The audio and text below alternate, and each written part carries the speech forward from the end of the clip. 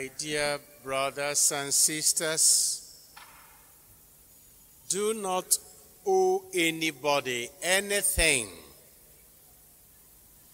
except love.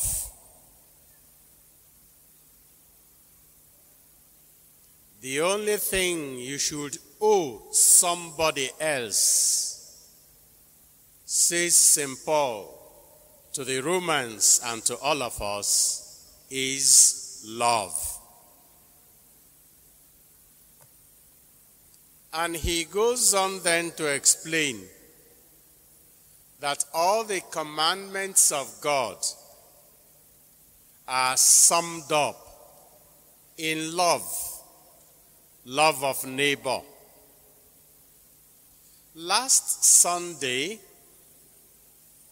we heard the gospel where Jesus was asked a question about the greatest commandment. And he said the first commandment is love God above everything else. And the second one is love your neighbor. So Paul seems to be explaining to us today why Jesus answered that the love of neighbor is the summary of all the commandments. Commandments are ten. Some of them concern our love of God, and the others our love for our neighbor. But then in the gospel today, we hear Jesus' teaching that seems to be the opposite of love. Because Jesus says, if you come to me without first hating, hate, hating not just any neighbor at all, but he says, you must hate your father, your mother, your wife, your children, your brothers, your sisters, even yourself. Otherwise, you cannot be my disciple. Jesus, how can he be telling us to hate others when he said that the most important commandment is love? This is difficult to understand. But what he really means is that if you have to choose between love of God and the love of any other thing, including your father or mother or yourself, you have to choose the love of God first. Because he knows that once you love God really, you will love your mother, your father, your brother, your sister, and yourself. But if you think you love yourself, your brother, your sister, your father, your mother, your wife, your husband, but you don't love God, you will find out that what you call love is really not love. L O V E. That word seems simple, but it is not simple. It is not just about how you feel, it is about your relationship with God and how that relationship with God influences your relationship with your neighbor. To love a person is to do everything you can to make that person the best of himself or herself. Do everything you can to make that person the best of himself or herself. Then you understand that sometimes some of the things we call love and some of the things we do in the name of love, they are not love. So that is what Jesus is teaching us. If you think you can love anybody or anything more than you love me, who am your God, then you have not understood what it means to be a Christian. But if you place God first and love of Him first, every other thing, you remember when He said, Seek ye first the kingdom of God and its righteousness, and everything will follow. Now, let me ask you, children, let somebody get a mobile microphone. Anybody who knows the answer should raise his hand or her hand and answer. When you are in a car, you see a car driving along the road, and the driver sees a gallop and avoids the gallop. Why does he do that? Or why does she do that? Yes?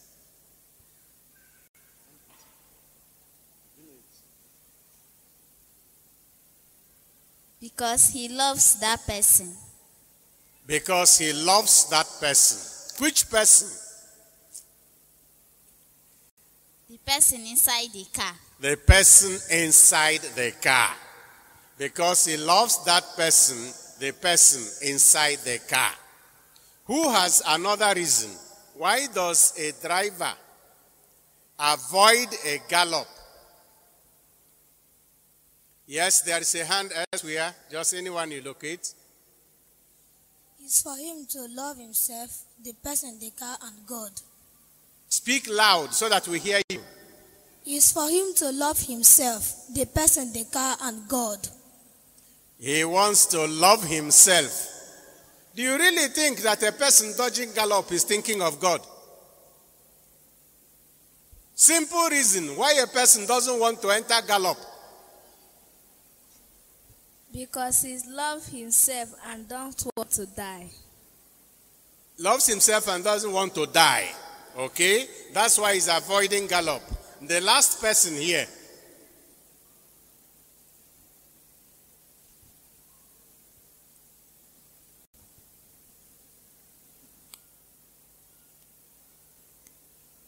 I thought you there was okay. To avoid accidents. To avoid accidents. Thank you very much. Okay. Now, if you ask the old people, the older people here, your teachers and your parents, why they dodge gallop, they will tell you is that they don't want to spoil their car. That is the simple reason. Because there is something in the car called shock absorber. If you pass a gallop, the shock absorber will absorb the shock. But if you pass it with force, it may spoil the shock absorber. So, and the shock absorbers are very costly, and our roads are bad. If you continue to pass every gallop, you know that in this country, because the roads are bad, you will be changing your shock absorbers every week. Ask your parents who came with car and all the drivers. But then, drivers here, those who have cars, do you see how your children are reasoning? That you are avoiding gallop in order to save yourself and the people in the car. Because you love them and love your life and love God. And you want to avoid accident. Let me ask other, uh, another question. Have you ever noticed that some people, when trying to avoid a gallop, go and cause accident. Have you ever noticed that? Yes or no? Yes. Now, because you want to avoid an accident and you don't want to destroy your car, you avoid a gallop. And in avoiding the gallop, you go and hit another car. Does it make sense? No. Now Jesus is like telling us anybody who loves his shock absorber more than the passenger in the car is not worthy to own a car.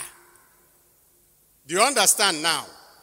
Anybody who loves his shock absorber more than the person he is carrying in the car, including himself, is not worthy to own a car.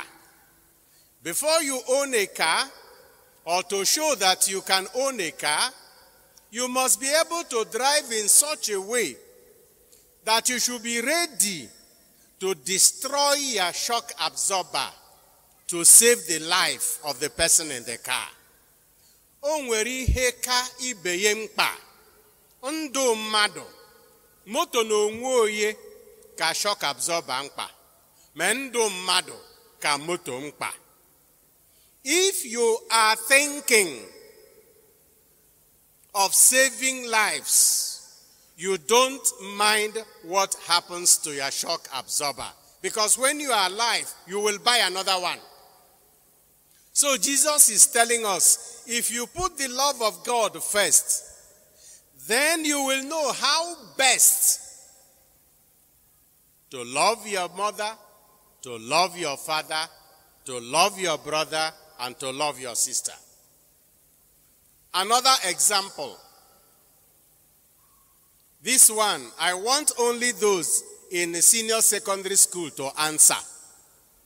Microphone, go to the senior students. Why do people engage in expo?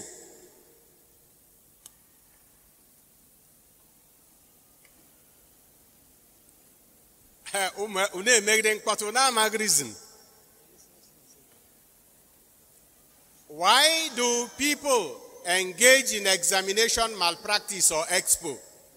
in order to pass their exams. We didn't hear you. In order to pass their exams. In order to pass their exams. Is it correct?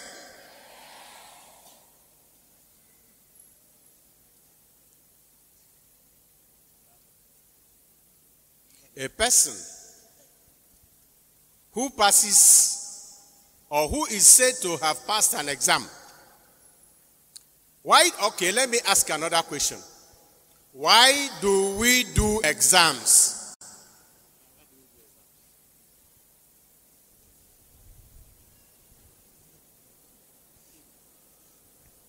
to test the knowledge of the students.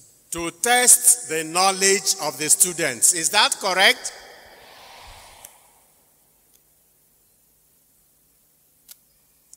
Okay. If exam is to test the knowledge of the student and somebody passes the exam through the expo, has that person shown that he knows the subject? This one you don't need to ask any individual. Okay. Why do parents send their children to school? Everybody knows that one. To learn something good. Is it correct? Oh God, are yes. If I tell you, get you, listen well. If I tell you now that you have 100% in mathematics, 100%, and you don't know the simple equations in mathematics, do you know mathematics? If I test your knowledge and you don't show me what you know, some other person says you know what you don't know, does that give you knowledge? Okay? A person who says you know what you don't know, does that person love you? A person who helps you to tell the whole world that you got A in mathematics, A in English, A in Igbo, A in chemistry, A in biology, A in government, A, and you don't know any of those things, does that person love you?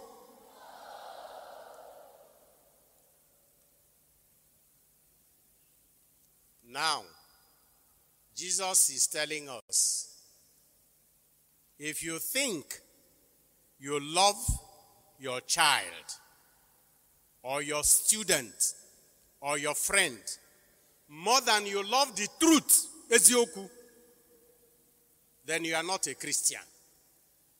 You don't even know what love means. I want to tell you, students, I'm begging you, whether he is or she is your principal.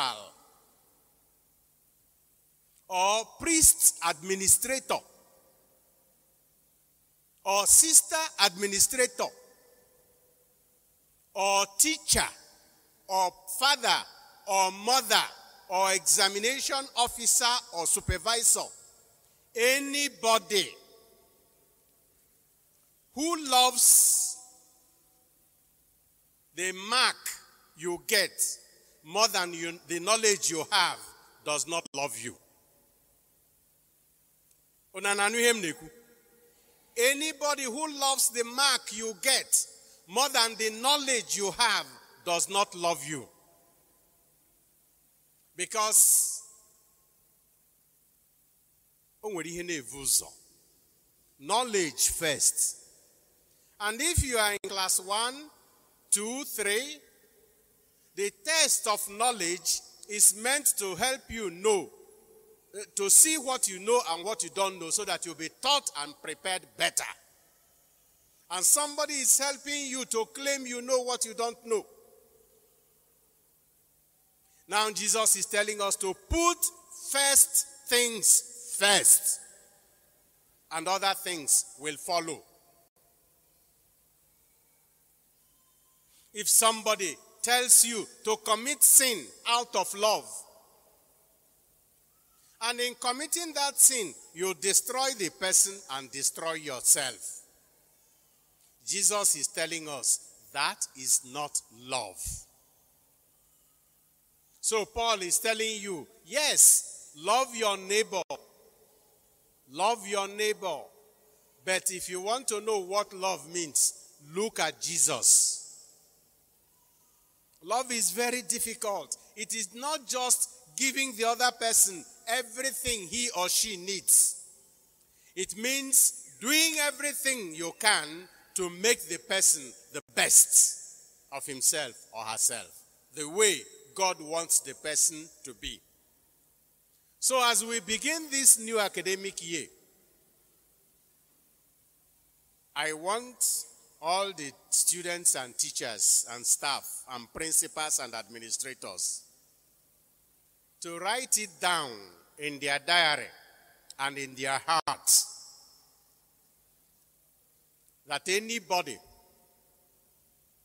who helps to declare to the world that a student knows what he or she does not know hates that student and wants to destroy him or her for life.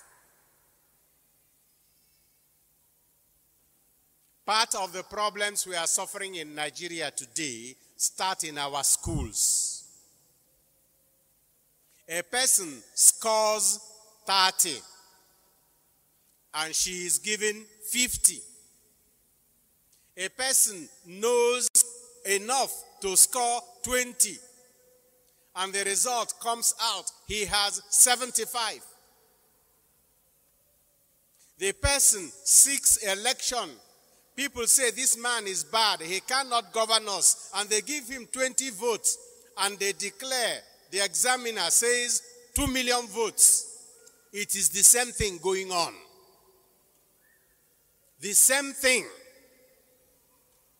And this is what is destroying Nigeria. You give a person 10 million to do a project. He spends 1 million and says he spent 10. The same thing, examination malpractice, continuing, dishonesty, continuing. This is a very serious problem. Never you say you love somebody when you are not promoting the person's general well being before God.